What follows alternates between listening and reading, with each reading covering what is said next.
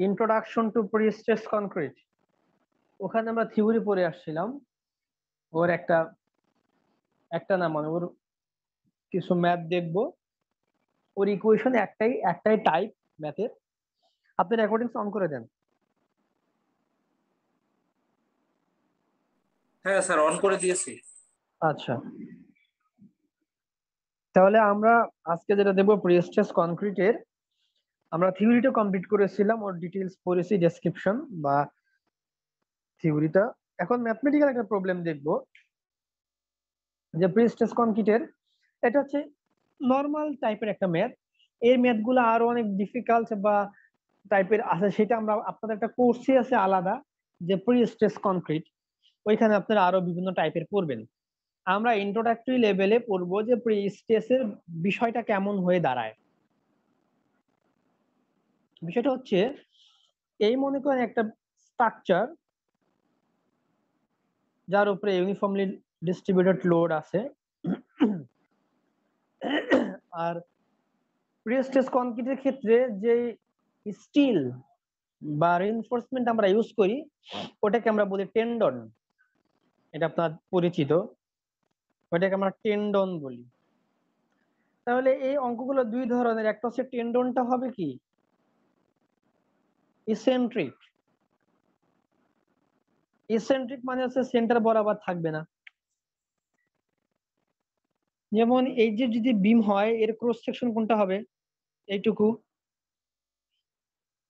তাহলে এর সেন্টার বা CG CGC CG of concrete সেটা হবে কোথায়? এই অংশ বরাবর। আর রিনফোর্সমেন্ট আছে তার থেকে নিচে।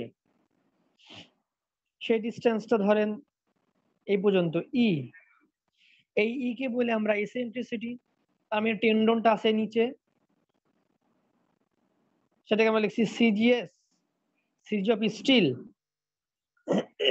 আপনারা সিজি টিউ লিখতে পারেন সিজি অফ টেন্ডন টেন্ডন তো ওয়ান কাইন্ড অফ স্টিল তাহলে দুইটার মধ্যবর্তী যে গ্যাপ সেটাকে আমরা বলি ইসেন্ট্রিসিটি ইসেন্ট্রিসিটির কারণে একটা এক্সট্রা মোমেন্ট ক্রিয়েট হবে।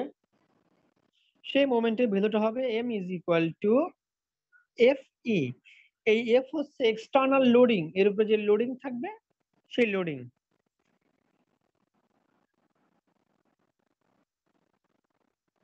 তাহলে আমরা এর একটা ইকুয়েশন দাঁড় করাতে পারি, যে due to eccentric prestress the concrete subjected to stress সেই স্ট্রেসের মানটা কেমন হবে? এটা অর্থাৎ ইসেন্ট্রির সিটির কারণে যে মোমেন্ট আসবে এই মোমেন্টের কারণে কনক্রিটে একটা স্ট্রেস ক্রিয়েট করবে আলাদা।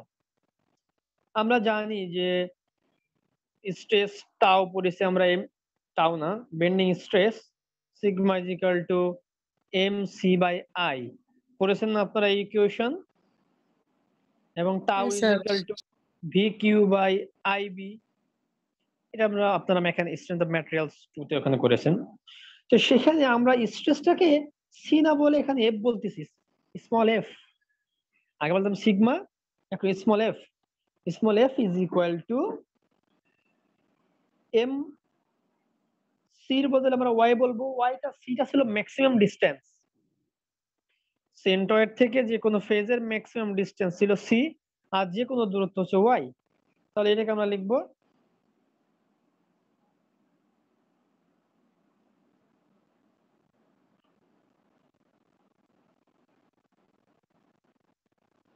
এটাকে আমরা লিখব এম ওয়াই বাই আই এই এম ইজিক্যালটা আমরা লিখতে পারি আবার F into E into Y by I এটা কি জন্য? এটা হচ্ছে ইসেন্ট্রিসিটির জন্য, এই স্ট্রেসটা আমরা এর আগে যখন কম্বাইন স্ট্রেস পড়েছি মানে আপনারা যখন কম্বাইন স্ট্রেস পড়েছেন, তখন আমরা দেখেছি যে স্ট্রেসের সূত্র কি ছিল? একটা হচ্ছে আমাদের নর্মাল ফোর্সের জন্য F by A force by area normal stress তার সাথে আমরা যোগ করেছি প্লাস মাইনাস বেন্ডিং স্ট্রেস অর্থাৎ এম ওয়াই বাই আই এখন তার সাথে আমরা একটা প্লাস মাইনাস আকারে যোগ করব। স্ট্রেস ডিউ টু ইসেন্ট্রিসিটি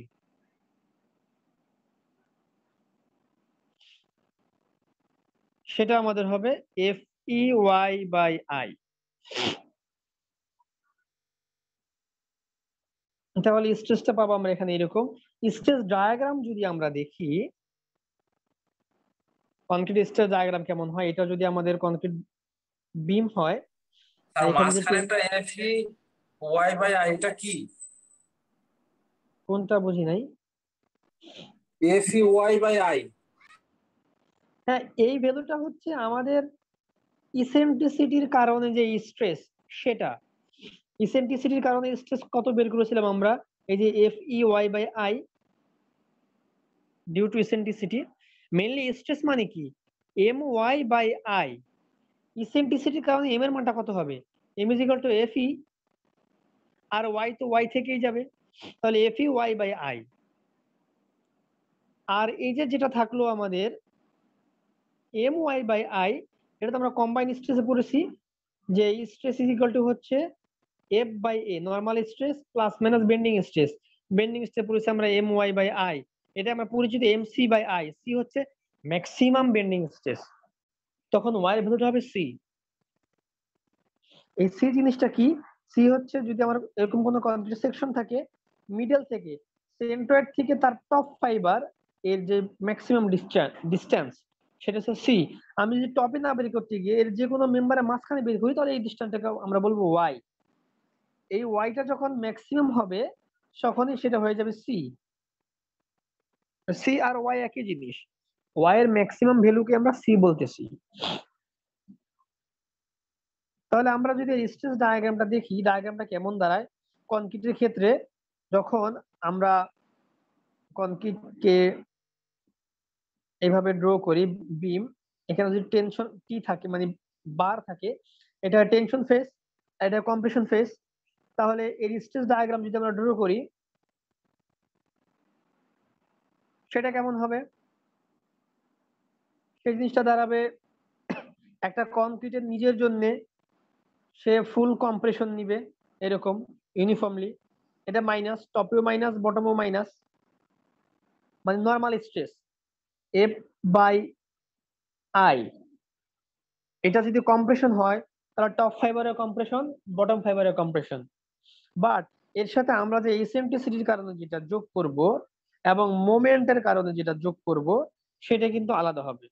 মোমেন্টের কারণে normal bending stress UD leg আমাদের মোমেন্ট আমার পজিটিভ মোমেন্টে কি এরকম এখানে মেম্বারটা এভাবে বেঁকে যাবে আমাদের। এভাবে যদি মেম্বারটা বেঁকে যায় টপ ফাইবারে কি? কম্প্রেশন এবং বটম ফাইবারে টেনশন তাহলে সেই ডায়াগ্রামটা এরকম ভাবে হবে। কম্প্রেশন নেগেটিভ বাম দিকে যাবে আর টেনশন পজিটিভ ডান দিকে আসবে। এটা পজিটিভ এটা নেগেটিভ তাহলে প্রথমটা হচ্ছে নর্মাল স্ট্রেসের জন্য ইউনিফর্মলি স্ট্রেস টপ টু বটমে সেম কম্প্রেশনে মাইনাস মাইনাস থাকল। টপেও মাইনাস বটমও মাইনাস বাট বেন্ডিং স্ট্রেসের জন্য আমাদের সেটা আসবে বটমে মাইনাস সরি টপে মাইনাস এই যেখানে কম্প্রেশন আর বটম ফাইবার প্লাস মানে টেনশন এবং ইসেন্ট্রিসিটির জন্য আসবে তার উল্টাটা বেন্ডিং মোমেন্টের ইসেন্ট্রিসিটির কারণে যেহেতু আমাদের এই ইসেন্ট্রিসিটি আছে নিচে, এইখানে আছে আমাদের টেনশন জোনে আছে ইসেন্ট্রিসিটির মান। এই সিজি থেকে এই পর্যন্ত নিচে আছে। তাহলে এইটার জন্য আমাদের মোমেন্টটা হবে ডিরেকশনটা উল্টা টপ ফাইবার হবে টেনশন বটম ফাইবার হবে কম্প্রেশন তাহলে সেই ডায়াগ্রাম কেমন হবে? যদি টপে টেনশনে পজিটিভ হবে, ডান দিকে, আর বটমে হলে এটা টেনশন আর বটমে কম্প্রেশন বাম দিকে নেগেটিভ সেই ডায়াগ্রাম এখানে আমরা ড্র করেছি। এই তিনটাকে যদি আমরা যোগ করি স্ট্যান্ডার্ড যে ভ্যালু পাবো, সেটা হচ্ছে দেখেন, এখানে নেগেটিভ এটা নেগেটিভ একটা পজিটিভ নিচের মানটা কি হবে? নিচের মানটা নেগেটিভ থাকবে। আমি যদি এটাকে ড্র করি এইভাবে, তাহলে নিচের মানটা নেগেটিভ বাম পাশে যাবে। আর উপরে দুইটা পজিটিভ দুইটা হচ্ছে পজিটিভ একটা হচ্ছে নেগেটিভ আলটিমেটলি এই নেগেটিভের মানটা এত বেশি হবে যে এইটাও টোটালটা নেগেটিভ আকারেই ভ্যালুটা ইনক্রিজ করবে। তাহলে আমরা দেখছি প্রি স্ট্রেস কনক্রিটের ক্ষেত্রে আমার total top to bottom fibre compression স্ট্রেন্সে থাকবে। বাকি এটা ভেরি করবে লোডিং কন্ডিশনের উপরে। যদি লোডিং লোডিং কন্ডিশন বা এসেন্ট্রিসিটি অনেক বেশি হয়, তাহলে আমরা হচ্ছে আলটিমেটলি এই তিনটাকে যোগ করে মানটা বের করব প্র্যাকটিক্যালি অ্যাকচুয়ালি কোনটা আসে। তাহলে আমরা যদি এখানে একটা ম্যাথমেটিক্যাল প্রবলেম দেখি, যে একটা প্রিস্টেস কনক্রিটের উপরে ইসেন্ট্রিসিটি আছে ইসেন্ট্রিসিটি মান কত?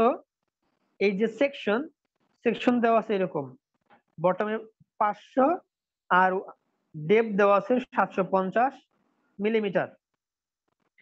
এবং তাহলে এটা সেন্টারটা কোথায় হবে? মাঝখান বরাবর।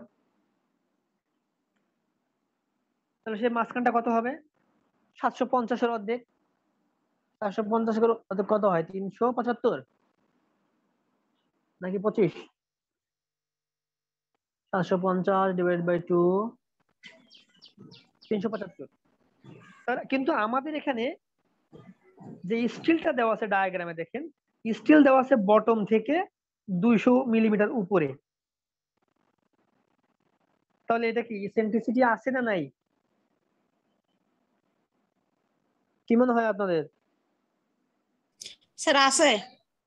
কারণ আমাদের মিডিলে যদি সেটা বটম থেকে তিনশো পঁচাত্তর উপরে থাকতো, তাহলে আমরা বলতাম কোন ইসেন্ট্রিসিটি নাই। যেহেতু বটম থেকে দুইশো উপরে, তার মানে কি, এর ইসেন্টি সিজিটা হচ্ছে তিনশো পঁচাত্তরে, তাহলে দুইশো পঞ্চাশ থেকে দুশো পঞ্চাশ দুশো তিরিশ দুশো তিরিশ থেকে আমরা তিনশো পঁচাত্তর বাদ দিব। তিনশো পঁচাত্তর মাইনাস দুইশো তিরিশ। তাহলে ভ্যালুটা হবে একশো পঁয়তাল্লিশ। তাহলে এখানে আমাদের ইর মান যেটা হবে সেন্টিসিটি ইজ ইকাল টু হবে একশো পঁয়তাল্লিশ। সেই ভ্যালুটা আমরা এখানে লিখেছি, খেয়াল করে দেখেন। জুম করে যদি আমি দেখাই, এখানে আমরা সেই অংশটাই লিখেছি। আপনাকে এখানে ইসির মান দেওয়া থাকবে না সির মান। শুধু দেওয়া থাকবে বটম থেকে দুশো তিরিশ দূরে আছে, তাহলে আপনাকে বুঝে নিতে হবে এই ইসেন্টিসিটি ভ্যালুটা কত। এই ইসেন্টিসিটি যদি বের করি, তাহলে আমরা এখন সূত্র প্রয়োগ করি এফ এর মান। এফ এর মান দেওয়া আছে যে ফোর্স হচ্ছে কতটুকু? এক্সটার্নাল ফোর্স এক্সটার্নাল ফোর্স মান হচ্ছে ষোলোশো বিশ কিলো নিউটন। এটাকে আমরা নিউটনে করলাম, ষোলোশো বিশ into ten to power three তাহলে নিউটন হলো, এবং এর এরিয়া বের করব আমরা এরিয়া কতটুকু? পাঁচশো ইন্টু সাতশো পঞ্চাশ ক্রস সেকশনাল এরিয়া সেটা বের করলাম আই বের করব। আই জিকালটা কত? B cube by twelve B হচ্ছে পাঁচশো, আর এইচ হচ্ছে সাতশো পঞ্চাশ কিউব ডিভাইড বাই টুয়েলভ এটা করলে যে মান হবে সেই মানটা আমরা millimetre cube to the power four এবং ই এর মান একশো পঞ্চাশ। তাহলে ওয়াই এর মান কত হবে ম্যাক্সিমাম সাতশো পঞ্চাশ ভাগ দুই। ম্যাক্সিমাম ওয়াইটা ইজ ইকাল টু কত? সি এখন এক্সটার্নাল লোডিং এর কারণে আমার যেটা মোমেন্ট আসবে, সেই মোমেন্ট আমাকে বের করে নিতে হবে। এখানে এক্সটার্নাল লোডিং ছিল পঁয়তাল্লিশ কিলোমিটার পার মিটার। আর এটা যেহেতু একটা সিম্পলি সাপোর্ট বিম তাহলে W L square by eight এই মানটা হবে আমাদের এক্সটার্নাল মোমেন্ট দেন আমি যে ইকুয়েশনটা জানি স্ট্রেসে সেই স্ট্রেসের ইকুয়েশনকে আমি এখানে অ্যাপ্লাই করব। আমরা জানি এফ ইজিক্যাল টু এই ভ্যালুটা অলওয়েজ মাইনাস যেহেতু compression minus F by A compression কেন? এই এক্সটার্নাল যে লোডটা থাকবে সেইটা তো কিসের কারণে? টেন্ডনের কারণে যে টেন্ডনের উপরে যে লোডটা আসে বা ফোর্স সেটা তো অলওয়েজ টেন্ডন না সরি এক্সটার্নাল যে লোডিং যেটা দেওয়া থাকবে বিমের উপরে, সেটা কীভাবে হবে? এই যখন কম, আমরা এটাকে টেন্ডনটা এখানে ফিক্স করব, এই দুই প্রান্তে যখন একে বেঁধে দিব, তখন এখানে টেনশন থাকবে, এটাকে রেজিস্ট করার জন্য দুই প্রান্তে কীরকম কম্প্রেশন ফোর্স কাজ করবে। এই যে যে এটা যেহেতু যেহেতু কম্প্রেশনের মান সরি তাহলে সেই ওই মানটা নর্মাল স্ট্রেস যেটা অলওয়েজ কম্প্রেশনের জন্য নেগেটিভ যদি টেনশন থাকতো, তাহলে সেটাকে আমরা পজিটিভ ধরতাম। এখানে আমি বলে নিয়েছি assume compression stress is a negative sign তাহলে stress of concrete F is equal to minus F by A but এই যে যে এম সি বাই বা এম ওয়াই বাই আই যেটাকে আমরা লিখেছিলাম M Y by I maximum ওয়াইটা হবে C maximum ওয়াইটা আমরা কেন ইউজ করব? কারণ আমরা আমাদের আমরা যে বের করব টপ ফাইবারে অথবা বটম ফাইবারে তাহলে এটা সর্বোচ্চ এই পর্যন্ত আসতে হবে। সর্বোচ্চ ভ্যালুটা কত? সেন্টয়েড থেকে ওয়াইয়ের ভ্যালু। সাতশো পঞ্চাশের অর্ধেক, তিনশো পঁচাত্তর। তাহলে ওই ওয়াইটাই সি হবে। যদি এখানে আমাদের টপ আর বটম ফাইবারে না বের করতে বললে বের কর, না বলে যদি বলে টপ থেকে দশ বা টপ থেকে একশো মিলিমিটার নিচে তখন আমরা সি লিখতে পারব না। তখন সেটা আমরা লিখব ওয়াই এই জন্য আমরা অলওয়েজ ওয়াই লিখব। ম্যাক্সিমাম ওয়াইটাকে আমরা সি হিসাবে ট্রিট করব। সেখানে ওয়াই এর মান কত হবে? তিনশো পঁচাত্তর থেকে একশো বাদ যাবে। কারণ আমি তো ডিস্টেন্সটা সবসময় সেন্টয়েড থেকে নেব। তো সেন্টয়েড থেকে টপ ফাইবার পর্যন্ত ডিস্টেন্স তিনশো পঁচাত্তর। আমাকে বলতে চাই টপ ফাইবার থেকে একশো মিলিমিটার নিচে মাপতে হবে। তাহলে সেন্টয়েড থেকে কতটুকু হবে? তিনশো পঁচাত্তর থেকে একশো বাদ দিতে হবে না? আপনারা কি বিষয়টা বুঝতেছেন? স্যার আমি একটু আগে থেকেই বুঝি নাই স্যার। কোন জায়গায় বুঝেন নাই? স্যার ওই অলওয়েজ মাইনাস হবে। এখানে টেনশনিং করার কারণে কি অলওয়েজ মাইনাস হবে? না না প্রিএসটিএস এর আমরা আমরা তো বের করতেছি কি দেখেন এখানকার লোডিং কন্ডিশন এক ধরনের এইটা কম্প্রেশন এরপরে যখন আপনি টেন্ডন ইনসার্ট করবেন টেন্ডনটা এখানে টেন্ডন তো আমরা কি কি করলাম? প্রি স্টেজ করলাম। অর্থাৎ একে আমরা টানলাম। টানার পরে টেনশনিং করলাম। হ্যাঁ টেনশনিং করে যখন এখানে ক্ল্যাম্প করে দিলাম দুই প্রান্তে এ চাইবে কি? ভিতরের দিকে চলে আসতে চাইবেন এইভাবে জি স্যার আমি ওইটাই বলছি ঠিক আছে। সেটার জন্য কম্প্রেশন লোডিং এর জন্য কম্প্রেশন এই জন্য যেহেতু কম্প্রেশন আসবে ফোর্সটা অলওয়েজ সেই জন্য এটা মানটা অলওয়েজ নেগেটিভ সাইন আপনি যদি কম্প্রেশনকে পজিটিভ ধরেন, তাহলে পজিটিভ হবে। সাইন কোনো ব্যাপার না, কিন্তু আমরা টেনশনকে পজিটিভ ধরি কম্প্রেশনকে নেগেটিভ ধরে আসি। আর এখানে যেটা ওয়াই এবং সি নিয়ে বারবার আমি বলতেছি, এই যে একটা সেকশন হলো, এর সিজি থেকে সর্বোচ্চ টপ ফাইবার অথবা বটম ফাইবার এর যে ম্যাক্সিমাম এরপরে কি আর আছে? এরপরে কি আমরা যেতে পারব আর উপর দিকে? এরপর তো আমাদের স্ট্রাকচারও নাই, আমরা যাব কীভাবে আর? সর্বোচ্চ টপ এইটা এবং সর্বোচ্চ বটম এইটা এই মানটাকে আমরা বলব সি এখানে সি এর মান কত আমাদের? এখান থেকে সর্বোচ্চ ভ্যালু কত? বলেন আমাকে। তিনশো পঁচাত্তর। তাহলে এই ওয়াই ভ্যালুটা যখন আমি তিনশো পঁচাত্তর লিখব, সেটাই সি হয়ে গেল। এই জন্য আমরা সি আর লিখব না। ওয়াই লেখেন সি লেখেন, আমাদের কোনো আপত্তি নাই। কিন্তু সি লিখলে সবসময় মনে হয় যে ম্যাক্সিমামটা নিতে হবে। কিন্তু সবসময় তো আপনাকে টপ ফাইবার নাও চাইতে পারে। বলতে পারে টপ থেকে একশো মিলিমিটার নিচে যে মেম্বারটা আছে ওই মেম্বারের স্ট্রেস কত? তখন আপনি সি লিখলে অঙ্কটা ভুল হয়ে গেল না? ওই জন্য আমরা সবসময় ওয়াই লিখব। সবসময় আমরা ওয়াই লিখব। ওয়াই যদি তিনশো পঁচাত্তর হয় তাহলে সেটা সি হয়ে যাবে। ওয়াই লিখলে কোনো ভুল নাই বাট সি লিখলে অলওয়েজ ম্যাক্সিমাম বোঝায়। ওয়াই লিখলে ম্যাক্সিমাম মিনিমাম যে কোনো ভ্যালু বোঝায়। জি জি স্যার তাহলে এখান থেকে আমি ইকুয়েশনটা ইনপুট দিব। এখানে তো এম সি বাই আই আমরা লিখেছি। এম ওয়াই বাই আই আপনারা লিখতে পারেন। M Y by I always লিখবেন। হয়তো আমাদের এই অঙ্কটাতে অঙ্কটাতে লেখা নাই। বটম ফাইবার যদি বলে বা টপ ফাইবার যদি বলে, তাহলে আপনারা সেখানে সি লিখতে পারেন এবং ওয়াইও লিখতে পারেন। ইটস ওকে এবং এটা হচ্ছে আমাদের ইসেন্ট্রিসিটির জন্য। F E Y by I এই ওয়াইটাই ম্যাক্সিমাম হলে সি হয়ে যাবে। এটা কোনো প্রবলেমের বিষয় না। তাহলে আমরা এখন মানগুলা বসাই দেখেন। এফ এর মান আমরা জানি। এর মান জানি। ইনপুট দিলাম। প্লাস মাইনাস কারণ আমি জানি না এটা কি প্লাস হবে না মাইনাস হবে। সেটা আমি লোডিং কন্ডিশন উপর পরে দেখে বের করব। আমি এখানে প্লাস মাইনাস দিব। এটা অলওয়েজ প্লাস মাইনাস দিবেন। ক্যালকুলেশন করবেন, পরে আমরা আসব এখানে। এটা পজিটিভ হবে নাকি নেগেটিভ হবে? তাহলে এফ এর মান দেওয়া আছে। ইর মান আমরা জানি একশো পঁয়তাল্লিশ। ওয়াই এর মান বটম ফাইবার বা টপ ফাইবার ম্যাক্সিমাম যদি বের করতে বলে ম্যাক্সিমাম স্ট্রেস তাহলে সেটা হবে আমাদের তিনশো পঁচাত্তর। সেই মানটা ইনপুট দিলাম। আই এর মান আমরা জানি। এখানেও আমরা এম এর মান জানি। এম এর মান বের করছি এই যে দুইশো নিরানব্বই দশমিক seven six ten to the power six newton millimetre সেটা ইনপুট দিয়েছি আর তিনশো পঁচাত্তর নিচে আয়ের মান। এগুলো দিয়ে ক্যালকুলেশন করে আমি এই মানটা পাইলাম। এখন আমি আসব কোনটা পজিটিভ কোনটা নেগেটিভ সেটাতে।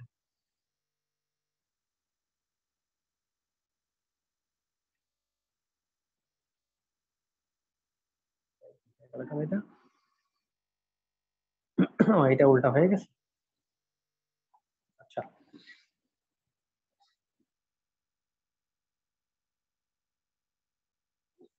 এখানে দেখেন stress at top fibre top ফাইবারের জন্য অলওয়েজ এটা তো নেগেটিভ সবসময়। দেন এই যে মানটা ইসেন্টিসিটির জন্য আমরা করেছি যে ইসেন্ট্রিসিটির যদি ইসেন্ট্রিসিটির নিচে হয় তাহলে টপ ফাইবারটা হবে পজিটিভ বটম ফাইবারটা হবে নেগেটিভ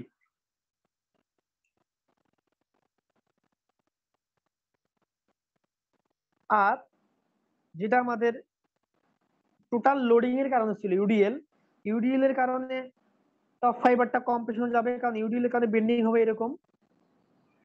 বেন্ডিং এরকম হবে। বেন্ডিং যদি এই শেপের হয়, তাহলে এটা টেনশন এটা কম্প্রেশন তাহলে আমরা সেখানে এই ভ্যালুগুলো ইনপুট দিব। অর্থাৎ এটা এটা হবে আমাদের টপে হলো পজিটিভ ইসেন্ট্রিসিটির জন্য আর ফ্লেক্সার মোমেন্টের জন্য সেটা হবে আমাদের নেগেটিভ এই মানগুলো যদি আমি যোগ করি, তাহলে টপ ফাইবারে পাবো আমি নেগেটিভ মান, অর্থাৎ কম্প্রেশন আর যদি বটম ফাইবারে যাই, প্রথমটা অলওয়েজ নেগেটিভ ইসেন্ট্রিসিটির জন্য যদি ইসেন্ট্রিসিটির নিচে থাকে বটমে থাকে, তাহলে আমরা বলেছি বটম নেগেটিভ টপ পজিটিভ মানে টপ হচ্ছে টেনশন বটম হচ্ছে কম্প্রেশন তাহলে বটমে নেগেটিভ হবে এবং আমরা মোম এক্সটার্নাল লোডিং যে পঁয়তাল্লিশ kilo newton metre per metre সেটার জন্য bottom fibre tension top fibre compression তাহলে এটা হবে পজিটিভ এই মানগুলো ইনপুট দিলে এটাও দেখতেছি আমরা কম্প্রেশন তাহলে এখানে দুইটা ভ্যালুই আমাদের কম্প্রেশন আসলো।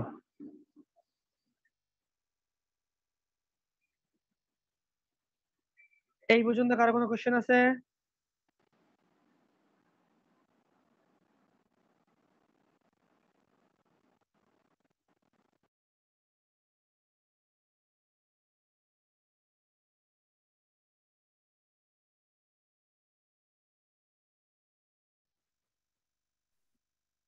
না স্যার ওকে তাহলে আমরা পরের অংশ যাই যেটা আমাদের আমরা গত ক্লাসে ফ্ল্যাট প্লেট স্ল্যাব দেখেছি।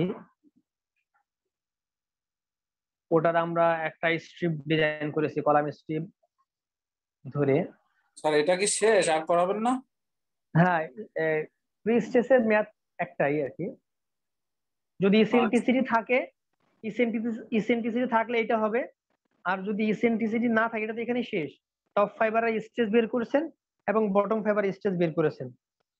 ক্যালকুলেশন ওকে এখন যদি আমাদের ইসেন্ট্রিসিটি না থাকে সেন্টার বরাবর থাকে, তাহলে কেমন হবে? সেন্টার বরাবর থাকলে হচ্ছে এই ভ্যালুটা আসবে না। মাঝের যে অংশটুকু, এইটাই যে এর মান শূন্য হবে, তাহলে এটা থাকবে না। এইটুকু পার্থক্য, আর কোনো পার্থক্য নেই। ইফিসিয়েন্সি না থাকলে তাহলে ওইটা বাদ যাবে স্যার তাই তো? না ইসেন্ট্রিসিটি ইফিসিয়েন্সি না হ্যাঁ। ইসেন্ট্রিসিটি না থাকলে বাদ যাবে। তবে রিনফোর্সমেন্ট যে প্রি স্টেজ কনক্রিট ইসেন্ট্রিসিটি থাকেই ম্যাক্সিমাম সময়ে। সেন্টার বরাবর খুব কমই দেওয়া হয় ইসেন্ট্রিসিটি থাকে এখন আমরা আমাদের গতানুগতিক ফ্ল্যাট প্লেট এর আগে দেখছিলাম ফ্ল্যাট প্লেট এখন আমরা ফ্ল্যাট প্লেট স্ল্যাব মানে একটা হচ্ছে আমাদের ফ্ল্যাট প্লেট, একটা হচ্ছে ফ্ল্যাট স্ল্যাব, দুই ধরনের জিনিস থাকে।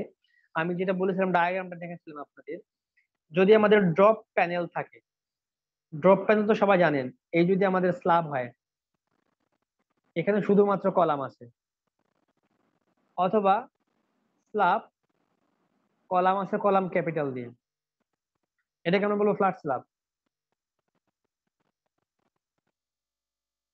Flat slab column আর যদি এর সাথে কোনো ড্রপ প্যানেল থাকে ড্রপ প্যানেলটা কেমন হবে? এইরকম। মুছে দিই। আর এখানে একটা ড্রপিং প্যানেল থাকবে। ইসেন্ট্রিসিটি হ্যাঁ ইসেন্ট্রিসিটি ইফিসিয়েন্সি না। জি স্যার বুঝতে পারছি। E C E N T R I T Y eccentricity তাহলে যদি ড্রপ প্যানেল থাকে আমাদের, এরকম, এখানে কলাম থাকতে পারে, অথবা ড্রপ প্যানেল তার সাথে আমাদের কলাম ক্যাপিটাল দিয়ে থাকতে পারে। এটাকে আমরা বলব ফ্ল্যাট প্লেট স্ল্যাব আর আগেরটা বলল শুধু ফ্ল্যাট স্ল্যাব যেখানে ড্রপ প্যানেল থাকবে না।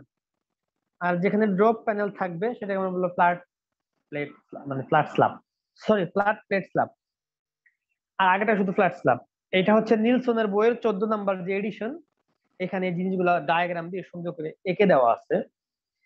আর আমরা প্রথম এর আগের ক্লাসে যে প্রবলেমটা করেছি, সেটা ছিল আমাদের ইউএসডি মেথডে এবং মোমেন্ট কোফিসিয়েন্ট মেথডে ওই রকম স্ল্যাব যেই স্ল্যাবের কোনো বিম থাকবে না, যেখানে আমরা শুধুমাত্র কলাম বা কলাম ক্যাপিটাল কলাম ক্যাপিটাল তো বুঝেন।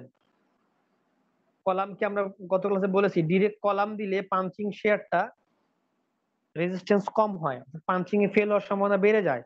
তখন আমরা করি কি, একে ফর্টি ফাইভ ডিগ্রি বাঁকা করে দিই ম্যাক্সিমাম সময়ে। কলামটাকে ডিরেক্ট ভাবে না দিয়ে এখানে একটা কলাম ক্যাপিটাল দিই।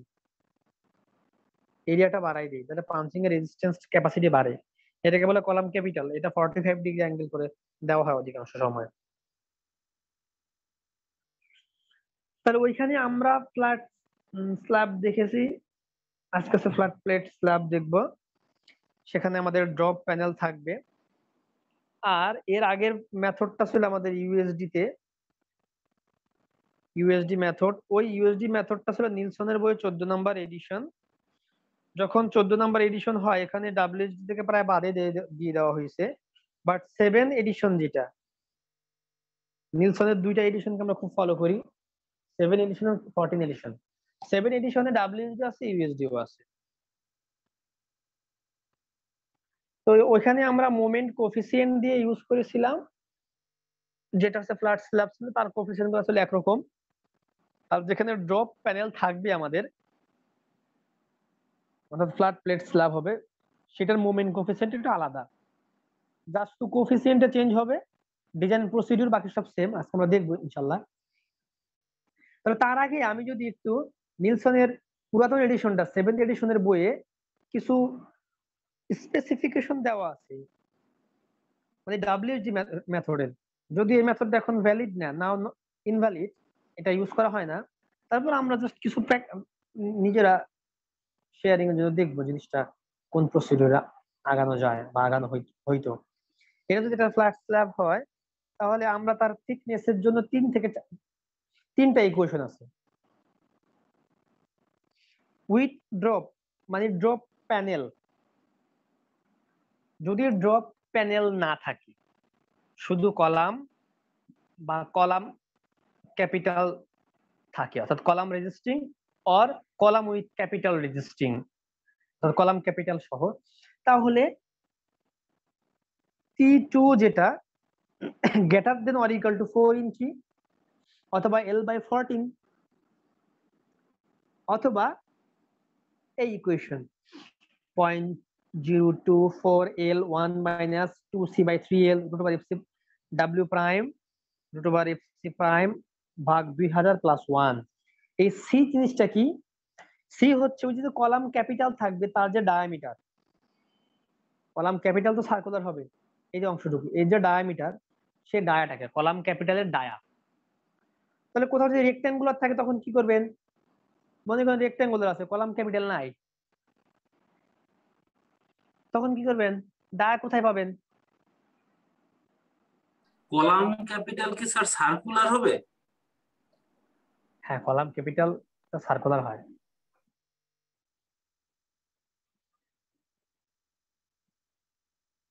তো ওটা যদি মনে করেন কলাম ক্যাপিটাল নাই, তখন কি করবেন? শুধু কলাম আছে।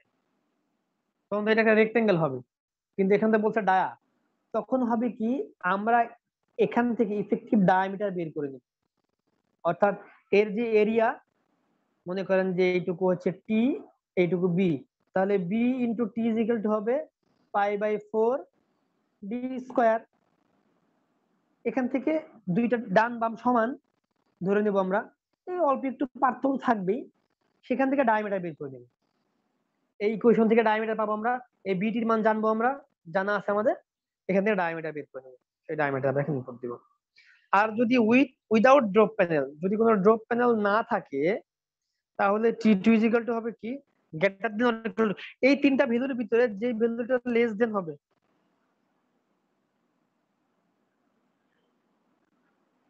সেটাকে আমরা ইউজ করব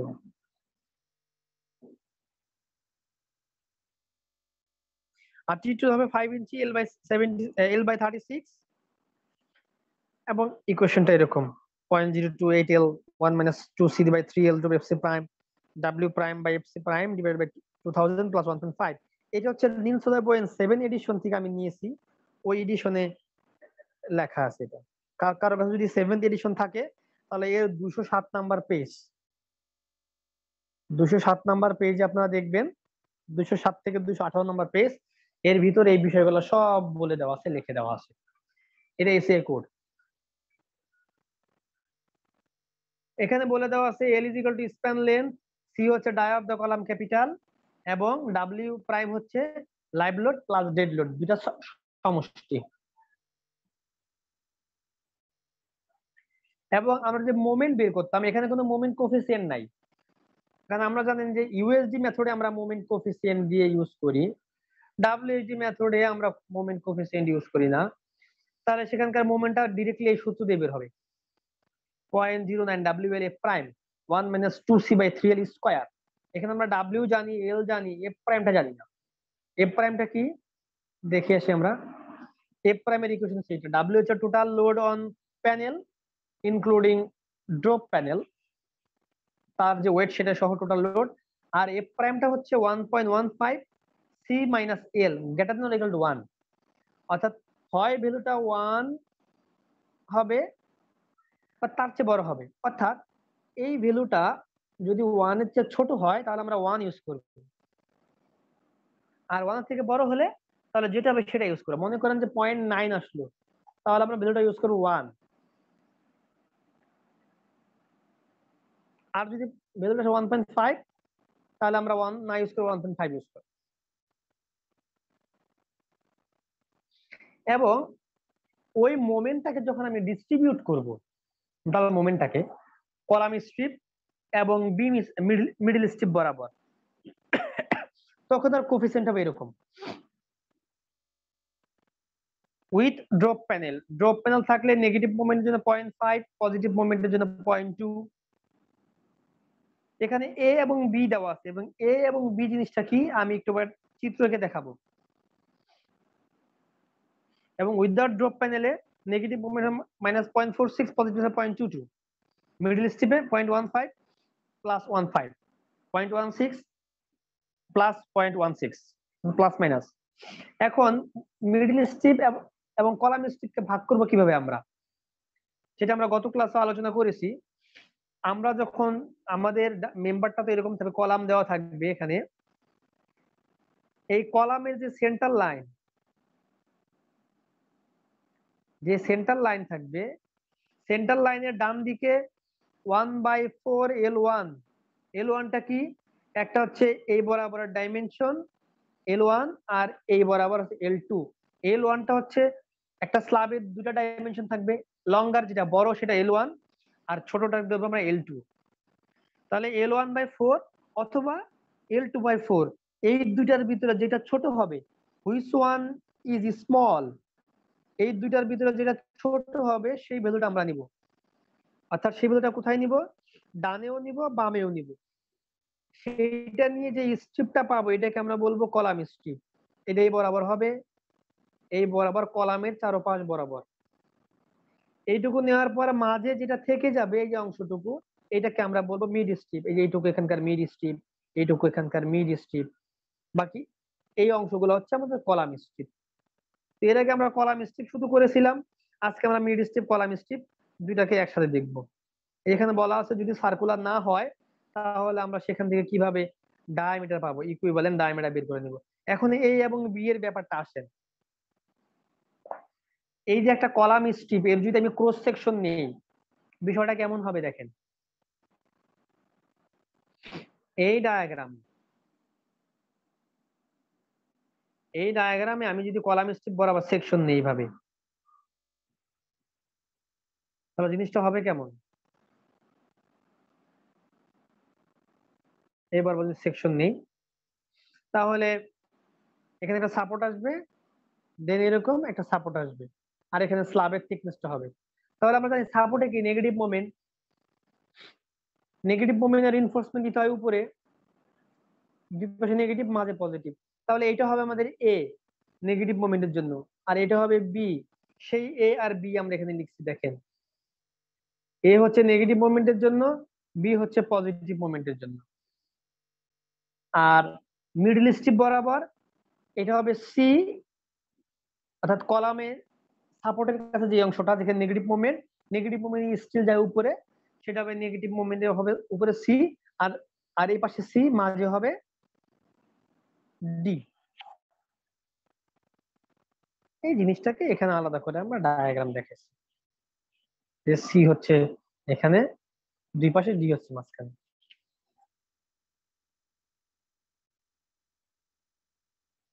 এই অঙ্কটা নিউটনের সেভেন এডিশন থেকে হুবহু নেওয়া হয়েছে। A parking garage to be designed as the flat slab structure is to carry the live load 200 PLF drop panel 8 feet square. অর্থাৎ ড্রপ প্যানেলটা হবে 8 ফিটের একটা স্কয়ার ড্রপ প্যানেল কিন্তু বড় হয়। এটা মনে করেন যে স্ল্যাব এই হচ্ছে স্ল্যাব এখানে যদি আমাদের কলাম থাকে মনে করেন যে এই স্ল্যাবে আমার এই অংশের মাঝে একটা কলাম আছে। তাহলে এই কলামের ড্রপ প্যানেলটা হবে কোন অংশটুকু বরাবর। এখান থেকে এই অংশটুকু বরাবর মনে করেন যে ড্রপ প্যানেল আছে। যাতে পান ড্রপ প্যানেলটা দেওয়া হয় যাতে পাঞ্চিং শেয়ারটা রেজিস্ট করতে পারে। কলাম ক্যাপিটালেরও একই পারপাস তাহলে ড্রপ প্যানেল যদি আমি দিই থিকনেসটা বেড়ে যাবে না। এটা ক্রস সেকশন কেমন হবে? ড্রপ প্যানেল সহ এই ছিল স্ল্যাব এটা হচ্ছে ড্রপ প্যানেল দেন এইখানে হচ্ছে কলাম।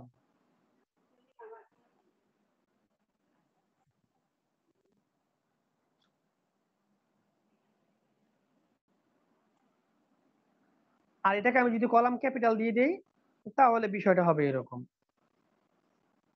এই তবে দেখেন আমাদের এই অংশে যদি স্ল্যাব থিকনেস হয় সিক্স ইঞ্চি এই অংশে কত হবে? বেড়ে যাবে, আমরা জানি না ড্রপ প্যানেলের থিকনেস কতটুকু, আমরা ক্যালকুলেশন করে বের করব। ধরে নিলাম যে ওইটাও যদি ছয় হয়, তাহলে বারো ইঞ্চি হয়ে গেল।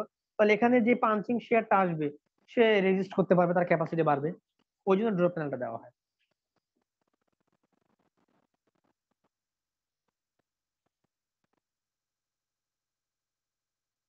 এবং column capital consist of a 90 degree truncated cone with four feet dia column ক্যাপিটালের যে ডায়া দেওয়া আছে, সেটা হচ্ছে ফোর ফিট কলাম ক্যাপিটাল।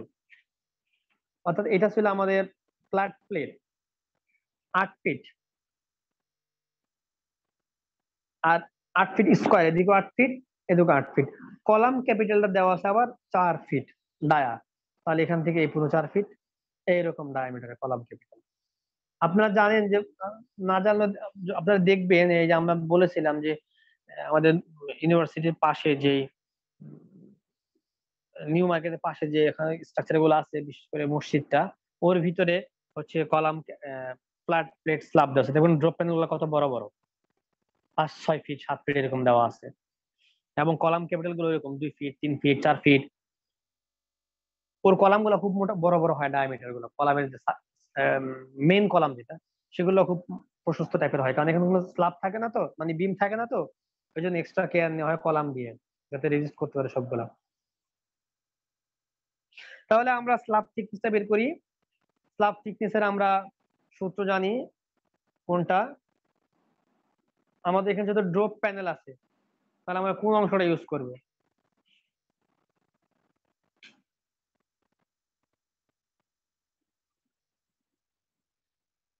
এই ইকুয়েশনে এইটা উইথ ড্রপ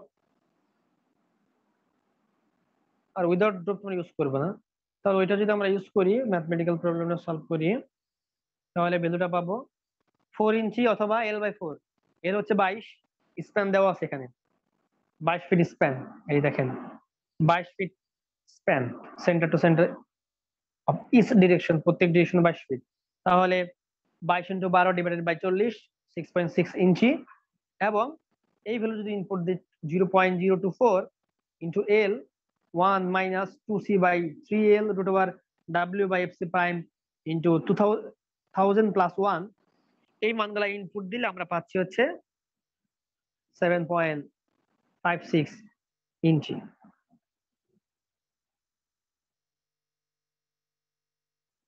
তাহলে সেটাকে আমরা সেভেন পয়েন্ট ফাইভ সিক্স এই ভ্যালুগুলোর মাঝখান থেকে যেটা এর আগে আমি ভুল আমার মিস্টেক হয়েছিল মিনিমাম না। এই তিনটা ভ্যালু থেকে greater than or equal to অর্থাৎ বড়টা, বড় যে ভ্যালুটা সেটা আমাদের মানে একটা টি তো আমাদের কনসিডার করে নিতে হবে, এই তিনটা ভ্যালু থেকে। সেটা হচ্ছে যেটা সবচেয়ে বড় থাকবে, সেই ভ্যালুটা আমরা নিব। ওখানে ওইটা ওইটা একটু আপনারা কারেকশন করে নিয়েন। মানে আমি মিনিমাম বলেছিলাম মিনিমাম হবে না ম্যাক্সিমাম ভ্যালুটা আমরা নিব, তিনটা থেকে যেটা। তাহলে টি টুর এই তিনটা ভ্যালু থেকে আমি একটা value input seven point five six এটাকে আমরা রাউন্ড আউট করে এইট করলাম। তাহলে তিনটার ভিতরে ম্যাক্সিমাম ভ্যালু কত? এইট আমরা ধরলাম T two is equal to হচ্ছে এইট ইঞ্চি এবং এর সাথে যে thickness of the drop panel এই ড্রপ প্যানেলের থিকনেসটা আমরা তিন ইঞ্চি, চার ইঞ্চি, পাঁচ ইঞ্চি এই রেঞ্জে একটা ভ্যালু ধরে নেব। এরপর আমরা ডেপ চেক করব যে আমাদের পাঞ্চিং শেয়ার এবং বিম শেয়ারের জন্য এটা ওকে আছে কিনা। ওকে না থাকলে তখন আমরা এটা ডিজাইনটাকে আবার রিভাইজ করব। কারণ আমাদের আরসিসি ডিজাইনটা এরকম, যদি ওকে না থাকে সেটাকে আমরা রিভাইজ করে করি আবার। তাহলে আমরা এখানে মানটা ধর পাইলাম পাইলাম কত? যে টি ওয়ান থিকনেস আট ইঞ্চি, তার সাথে তিন ইঞ্চি। তাহলে ভ্যালুগুলো হবে আমাদের টোটাল এগারো ইঞ্চি। এই কন্ডিশনটা স্যাটিসফাই করতে হবে যে one point five up T two T two প্রথম কোনটা ধরেছিলাম? টি টু হচ্ছে আমাদের এই অংশটুকু। স্লাবের যে থিকনেস এটা টি টু স্ল্যাব থেকে ড্রপ প্যানেল এটা হচ্ছে টি ওয়ান ড্রপ প্যানেল সহ টোটাল থিকনেস যেটা টি ওয়ান আর শুধু স্লাবের থিকনেস টি টু এই ভ্যালুটা আবার one point five up T two হবে। One point five up T two এর থেকে ছোট হবে। এর দেড় গুণের বেশি নেওয়া যাবে না। অর্থাৎ আমি চাইলে এটাকে যদি আট ধরি, আর এখন যদি পাঁচ ধরি, আট পাঁচ তেরো হয়ে যায় but one point five up eight কত? আট ইন্টু চার, বারো, তাহলে সেটা আমাকে বারো ধরতে হবে ম্যাক্সিমাম বারোর বেশি ধরা যাবে না। সেজন্য আমরা তিন বা চার এই রেঞ্জে ধরবো। এবং এটা ডিপেন্ডস করব আমার টি টুর উপরে। টি টুর ভ্যালু যদি আট না হয়, এখানে ছয় হতো, তাহলে সেখানে কিন্তু আমরা six into one point five তার মানে ছয় আর তিন। নয়। নয়ের বেশি ধরতে পারতাম না। তাহলে সেখানে ছয় হতো তার সাথে আমরা তিন যোগ করতাম। বা আড়াই যোগ করতাম এরকম রেঞ্জে যোগ করব আমরা। আর টোটাল লোড হচ্ছে আমাদের ডেড লোড লাইভ লোড দেওয়া আছে ওই ভ্যালুটাই আর ডাব্লিউজি মেথডে কোনো ফ্যাক্টরাইজ করতে হয় না। স্যার ড্রপ প্যানেল সহ স্ল্যাব থিকনেসের দেড় গুণের বেশি নেওয়া যাবে না তাই তো? হ্যাঁ হ্যাঁ। এখন আমরা মোমেন্টটা বের করব কীভাবে? মোমেন্টের আগে আমরা মোমেন্টের যে ইকুয়েশন আছে, এখানে মানে হ্যাঁ। মোমেন্টের ইকুয়েশন কি ছিল আমাদের? যে এই যে বড় একটা ইকুয়েশন ছিল না এখানে? এই ইকুয়েশনগুলো মুখস্থ রাখা খুব ঝামেলা। অনেক ফ্র্যাকশন ভ্যালু থাকে এটা। এই একটা ইকুয়েশন আর একটা ইকুয়েশন ছিল কি? W L square by eight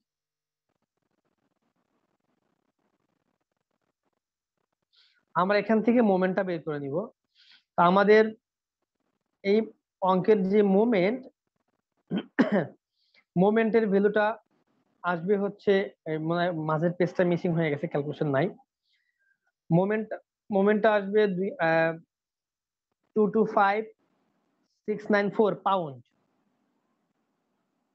অর্থাৎ দুশো পঁচিশ দশমিক সিক্স নাইন ফোর কিপ এইটার কলাম স্টিপের নেগেটিভ মোমেন্টের মান ছিল পয়েন্ট ফাইভ কোফিসিয়েন্ট আর পজিটিভ মোমেন্ট ছিল পয়েন্ট টু তাহলে এটাকে আমি ফ্যাক্টরাইজ করে কলাম স্ট্রিপের জন্য পজিটিভ মোমেন্ট আর নেগেটিভ মোমেন্ট দুইটা পাবো। দেন আবার মিডল স্ট্রিপের জন্য আমি পজিটিভ মোমেন্ট পাবো নেগেটিভ মোমেন্ট পাবো। এখন এখানকার যে ম্যাক্সিমাম মোমেন্ট এই ম্যাক্সিমাম মোমেন্ট ধরে আমি ডেপ চেক করব। ডেপ চেকের সূত্র জানি আমরা ডাব্লিউজি মেথডে কি?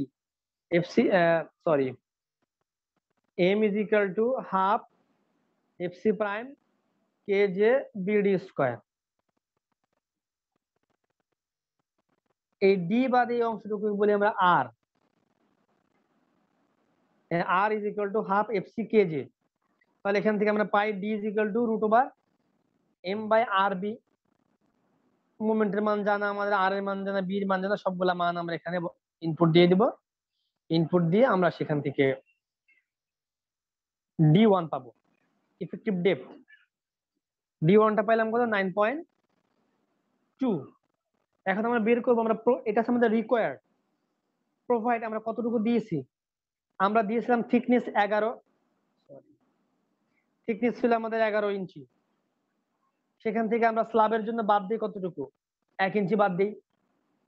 কনক্রিট ক্লিয়ার কভার ওখান থেকে এক ইঞ্চি বাদ দিই। তাহলে সেই ভ্যালুটা হওয়ার কথা ছিল আমাদের দশ। কিন্তু নর্মাল স্ল্যাবে আমরা তিন বা চার নাম্বার বার ইউজ করি। ফ্ল্যাট স্ল্যাবে একটু ছয় নাম্বার বার বা পাঁচ নাম্বার বার পাঁচ, ছয় নাম্বার বারও ইউজ করা যায়। তো ম্যাক্সিমাম ওটা হচ্ছে ম্যাক্সিমাম তাহলে আমরা যদি ম্যাক্সিমাম ওখানে ছয় নাম্বার বার ইউজ করি, ছয় নাম্বার বার ডায়া কত? যে নাম্বার নাম্বারকে আট দ্বারা ভাগ করলে বারের ডায়ামিটার পাওয়া যায়। তাহলে সেটা আমরা বিয়োগ করলে এখানে নাই মানে অর্থাৎ সেখানে আমরা ওয়ান না বাদ দিয়ে ওয়ান পয়েন্ট ফাইভ দেড় ইঞ্চি বাদ দিয়েছি। স্ল্যাবে এক বা দেড় ইঞ্চি বাদ দেওয়া যায়। তাহলে সেখান থেকে আপনার ওটা বাদ দিলে পাবেন নাইন পয়েন্ট ফাইভ বা আপনার যদি একও বাদ দেন ইটস ওকে তাহলে সেটা পাবেন টেন তো আমাদের রিকোয়ার্ড ছিল নাইন পয়েন্ট টু আর আমি পেয়েছি কতটুকু? প্রোভাইড করেছি নাইন পয়েন্ট ফাইভ তাহলে আমাদের এই ভ্যালুটা ওকে এটা ম্যাক্সিমাম পজিটিভ মোমেন্ট নিয়ে আমরা আবার চেক করে দেখব। এটা করলাম কি সহ? টোটাল ডি ওয়ান এবং ডি টু দুটা কিন্তু পার্থক্য। কারণ হচ্ছে কি আমাদের স্ল্যাবের থিকনেস কয়টা এখানে? দুইটা, একটা ড্রপ প্যানেল ছাড়া আর একটা ড্রপ প্যানেল সহ। টি ওয়ানটা ছিল আমাদের ড্রপ প্যানেল সহ। ওইটার জন্য আমি একটা চেক করলাম। তাহলে আমাকে আবার টি টুর জন্য, যেখানে আমাদের টি টু ছিল আট ইঞ্চি সেটার জন্য আবার চেক করতে হবে। ওখানকার আমি যদি মোমেন্ট দিয়ে আবার ডি টু বের করি, সেই মানটা পাবো ফোর পয়েন্ট নাইন সিক্স এই ফোর পয়েন্ট নাইন আমি প্রোভাইড করেছি কতটুকু? এইট ইঞ্চি সেখান থেকে ওয়ান দেড় ইঞ্চি বাদ দিব সিক্স পয়েন্ট ফাইভ ইঞ্চি তাহলে দুইটা আমার ওকে হইল। দুইটা যদি ওকে হয় দেন আমি স্টিল ক্যালকুলেশনে চলে যাব। স্টিল ক্যালকুলেশন কীভাবে? এই যে M is equal to sorry হ্যাঁ এইটাই। এম ইজ ইকাল টু আমরা জানি কি? A S F S JD এখান থেকে ডির মান আমরা জানি এম ওয়ান মানে ডি ওয়ানের জন্য একটা মোমেন্ট আসবে ডি টুর জন্য আরেকটা মোমেন্ট আসবে।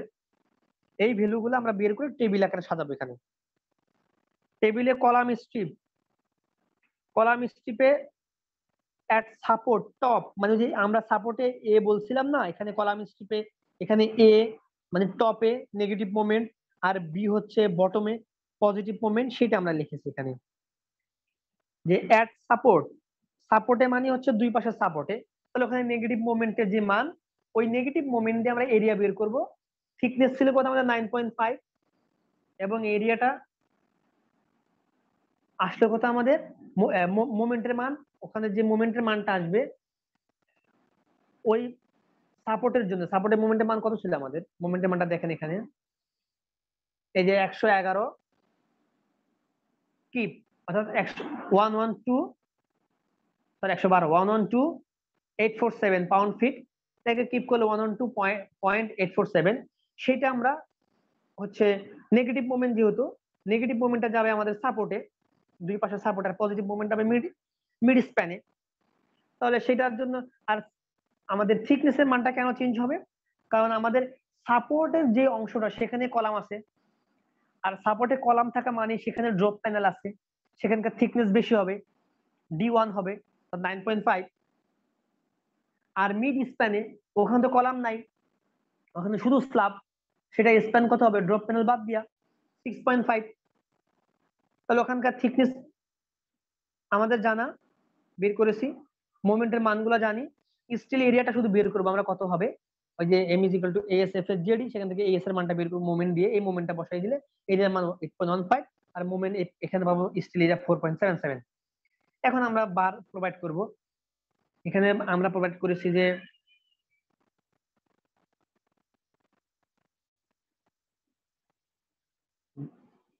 এটা কয় নাম্বার বার এখানে প্রোভাইড করেছে?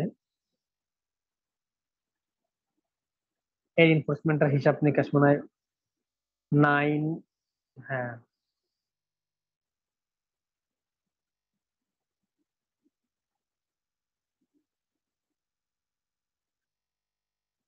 এখানে ten twenty millimeter bar twenty millimeter bar use করেছে উনিশটা। কারণ স্টিল এরিয়া তো অনেক বেশি।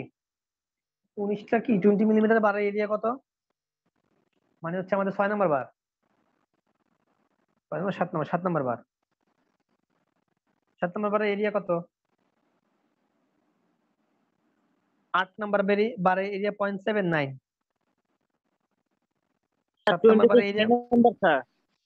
হ্যাঁ টোয়েন্টি তো সিক্স নাম্বার স্যার ছয় নম্বর ডায়ামে আঠারো আঠারো মিলি না? আচ্ছা বিশ মিলি না স্যার বিশ তো সিক্স ষোলো আছে ফাইভ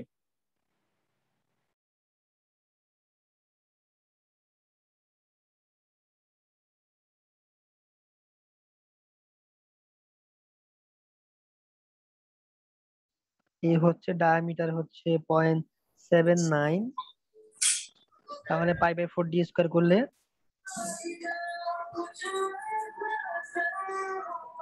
হ্যাঁ মাইক্রোফোন অন কর।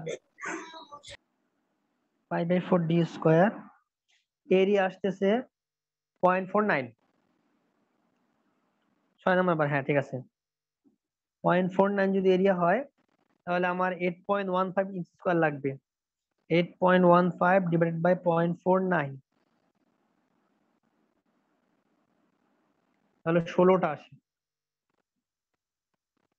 এই ক্যালকুলেশনটুকু করতে মানে ঝামেলা আছে এখানকার। আপনারা স্টিল এরিয়াটুকু বের করে সেখান থেকে আর নাম্বার রিনফোর্সমেন্টের নাম্বারটা বের করবেন। এইটুকু দেখবেন না এটুকু বাদ। স্যার নিচের টুকু না নিচে না যেটা মার্কিং এই মার্কিং করলাম যেটা এইটুকু। ও আচ্ছা ঠিক আছে। স্যার। রিনফোর্সমেন্ট ওইটুকু বাদ। বাদ বলতে ওইটা এখানে এখানে যেটা আছে সেটা ভুল থাকতে পারে। আপনারা কারেকশন করে করবেন। তাহলে এভাবে আমি প্রত্যেকটা পোর্শনে স্টিল এরিয়া পাবো আর ইনফরমেশন পাবো। এখানে এসিআই কোডে বলা আছে আমাদের যে ফ্ল্যাট স্ল্যাবে তিন চার পাঁচ নম্বর বার ছাড়াও ছয়, সাত বা বড় সাইজের বার ইউজ করা হয়। কারণ ফ্ল্যাট স্ল্যাবে রড বেন্ড করতে হয় বেন্ড করতে হয় না, কিন্তু নর্মাল স্ল্যাবে রড বেন্ড করতে হয়। নর্মাল স্ল্যাব আমরা রড বেন্ড করি, কিন্তু ফ্ল্যাট স্ল্যাবে বার কেটে কেটে ইউজ করা হয়। ফ্ল্যাট স্ল্যাবে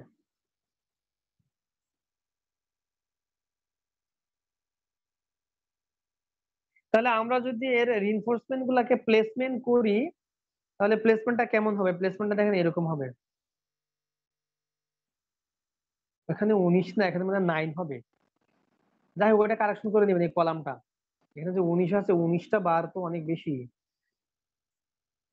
নাইন হবে এখানে ভুল আছে। চেক করবেন এটা।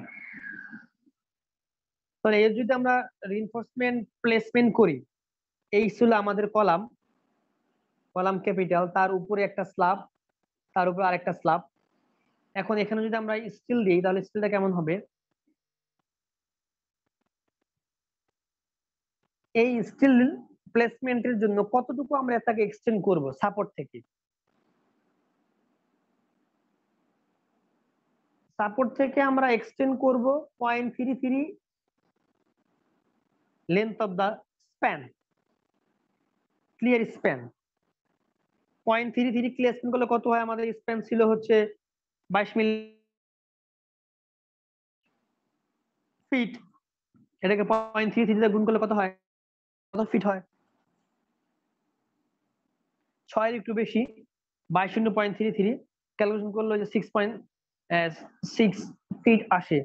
তাহলে একটা বারকে আমরা জানেন স্ল্যাবের ক্ষেত্রে, একটা বারকে আমরা পুরো টপ দিয়ে আরেকটা বারকে কেটে অল স্ল্যাব থেকে কিছু দূর- দূরে রেখে দিই। দূরে কেন রাখি? কারণ একটা বার তো স্ট্রেট যাওয়ার কথা, একটা বার বেন্ড যাওয়ার কথা। কিন্তু এখানে তো বেন্ড না আমাদের, এটা হচ্ছে কাটিং বার তো একটা একটা বারকে আমরা টোটাল লেন্থ বরাবর দিব, সেটা হচ্ছে এল পর্যন্ত, আরেকটা হচ্ছে চার ইঞ্চি পর্যন্ত। সাপোর্ট থেকে চার ইঞ্চি বা ছয় ইঞ্চি পর্যন্ত দেওয়া হয়। সরি চার ফিট বা ছয় ফিট ওই নিচের টু, নিচের টুকু। কেন চার ফিট বা ছয় ফিট হবে? ওইটাও ক্যালকুলেশন করে আমরা বের করব। সেই মানটা পয়েন্ট টু এল টপের যে দুইটা বার কিন্তু পাশাপাশি থাকবে। দেখেন এদের মধ্যবর্তী ডিস্টেন্স বলা আছে জিরো তার মানে কি? এরা একটা এখানে, আরেকটা তার পাশে। তার পাশে আরেকটা বড়, আরেকটা ছোট। এইভাবে কিন্তু রিনফোর্সমেন্টটা আগাচ্ছে প্ল্যানে বাট ক্রস সেকশন যদি আমরা দেখি, দুইটা বার তো একই বরাবর হবে। কিন্তু একই বরাবর তো দুইটা বারকে দেখানো যাবে না। একটা দাগ হয়ে যাবে না দুইটা বার? সেই জন্য আমরা লিখে দিচ্ছি যে এদের মধ্যবর্তী গ্যাপ কতটুকু? একটা বার একটা বার দিলাম। মধ্যবর্তী গ্যাপ বলে দিলাম জিরো তার মানে কি? একটা আরেকটা পাশাপাশি, এটা এখানে একটা তার পাশাপাশি।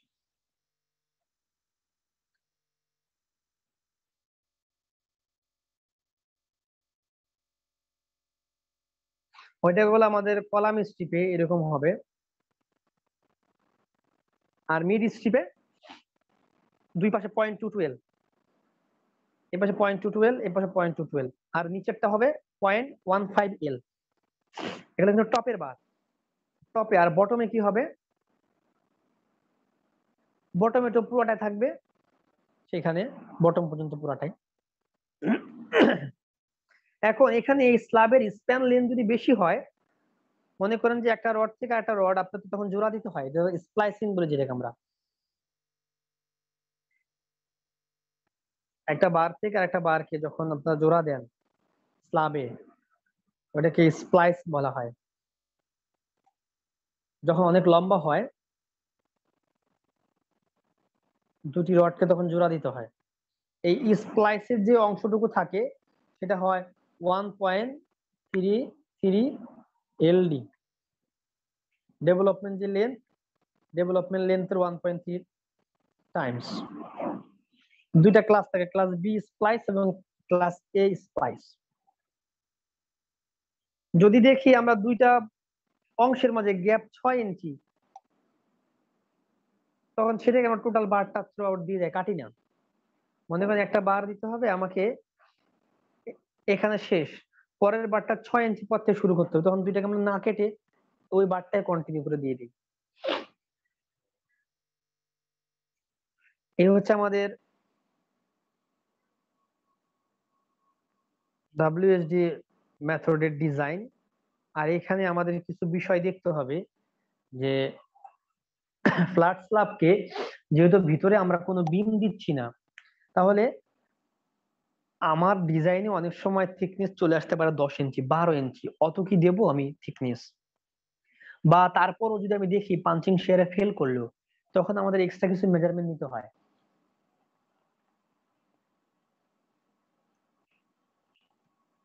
সেই এক্সট্রা মেজারমেন্ট কি?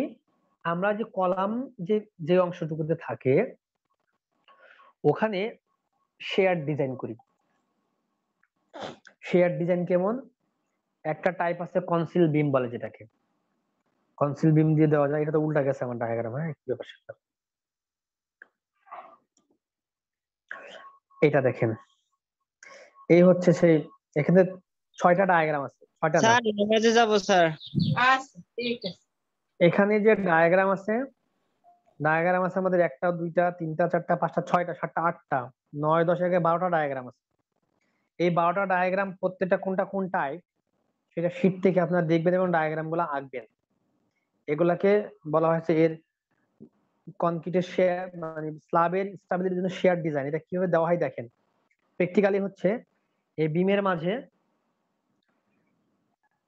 মানে স্ল্যাবের মাঝে যখন স্ল্যাবটা ডিজাইন করা হয় যেখানে কলাম থাকে, যেখানে কলাম থাকে, দেখা যাচ্ছে না একটা কালার ব্লু করে দিই। এই অংশ কলাম, দেখেন এখানে কিন্তু যে স্টিল প্লেট দিয়ে তার সাথে বোল্টিং করে দিয়ে দেওয়া হয়েছে। যাতে এখানে যখন কাস্টিংটা হবে একসাথে মনোলিথিক কাস্টিং কাস্টিং সময় যাতে এখানে বন্ডিংসটা ভালো ক্রিয়েট হয়।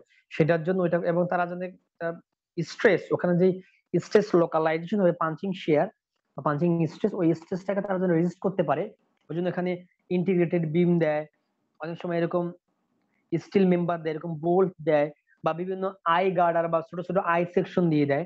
ডায়াগ্রাম দেখলে আপনারা দেখবেন, এখানে আই সেকশন দেওয়া আছে, দেখেন। এই ভিতরে একটা আই সেকশন দেওয়া আছে।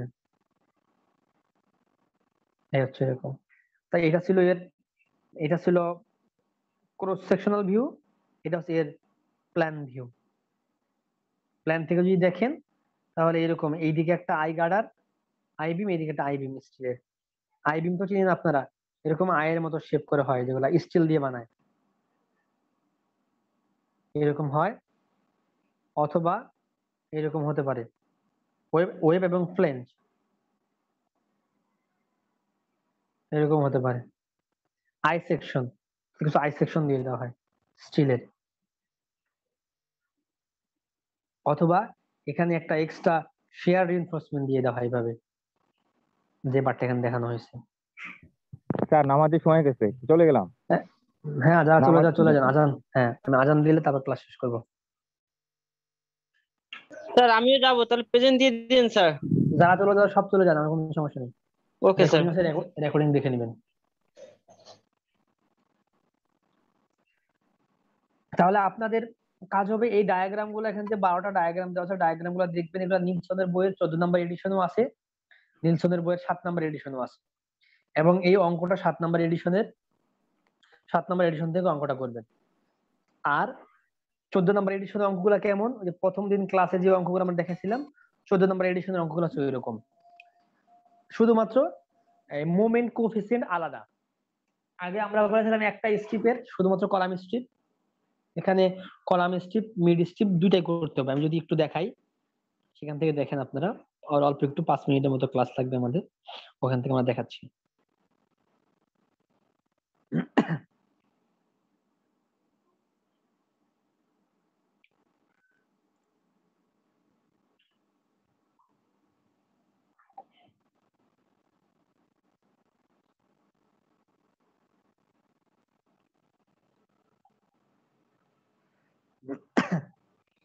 আপনারা কি এটা দেখতে পাচ্ছেন স্ক্রিন শেয়ারে? নতুন যে শীটটা দিয়েছি জি স্যার। আচ্ছা। এখানে আমি দেখাচ্ছি যে কোন অংশের যোগ্যতা খালি পরিবর্তন হবে এটা তো আমরা প্রথম ওই দিন ক্লাসে করেছি।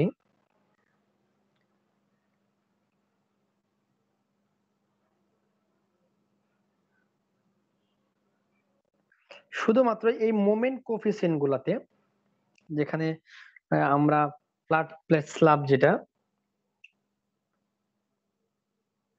কলাম স্ট্রিপ এবং মিড স্ট্রিপের জিনিসটা আমরা দেখলাম যে L by four plus L by four left সাইডে এল বাই ফোর রাইট সাইডে দুইটা, যেটা বড় লেন্থ লার্জার এল এন আর শর্টার লেন্থ মানে এটা এল ওয়ান এবং এল টু এই দুইটা মধ্যে যেটা স্মলার হবে, সেটা আমরা নিয়ে মিড স্টেপ কলাম স্টেপে ভাগ করব।